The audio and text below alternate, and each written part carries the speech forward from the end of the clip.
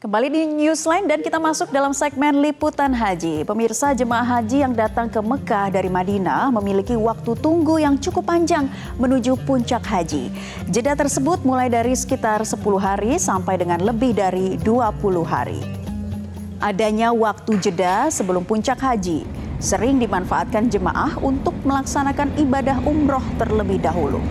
Namun Kadaker Madinah Zainal Mutakid mengingatkan jemaah untuk tidak memaksakan diri dengan melakukan umroh berkali-kali.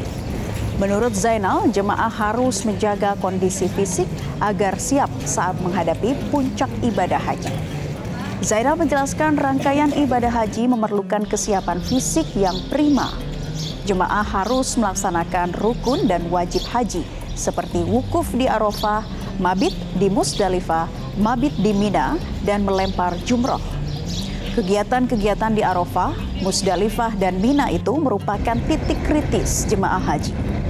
Berdasarkan catatan penyelenggaraan haji tahun-tahun sebelumnya, banyak jemaah berjatuhan setelah Armuzna. Hal itu sebagian dipicu oleh faktor kelelahan karena terlalu banyak melaksanakan umroh. Pak Anu gimana?